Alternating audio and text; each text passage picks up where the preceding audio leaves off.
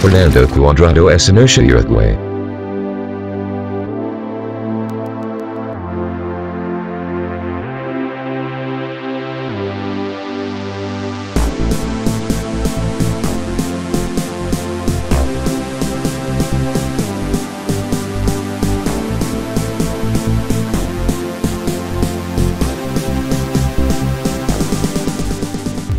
A tornado is a violent, twisting, funnel-shaped windstorm. Its name comes from the Latin word tonare, which means to thunder. Tornadoes form out of the bottom of cumulonimbus clouds, where cold, dry air meets warm, moist air.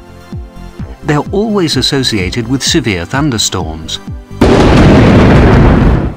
Scientists aren't exactly sure how tornadoes form, but think they usually begin when an updraft of warm, moist air rises rapidly through cold air near the top of the cloud. As this happens, more warm air rushes in to replace it, and colder air is forced downwards. The interaction of warm and cold air causes the updraft to rotate, forming a vacuum cleaner-like funnel which sucks air and objects up into it.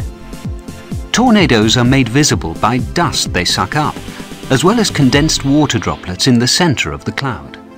They rotate primarily anti-clockwise in the northern hemisphere and clockwise in the southern hemisphere.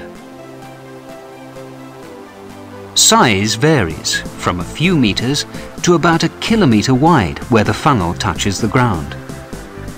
The average width is a few hundred meters Tornadoes travel over distances ranging from short hops to many kilometers. They produce the most powerful winds on Earth, with some reaching speeds up to 800 kilometers per hour. Damage results from both the high winds and the extremely low pressure in the center of the funnel. Tornadoes damage structures by tearing off roofs, collapsing buildings, and hurling objects with great force.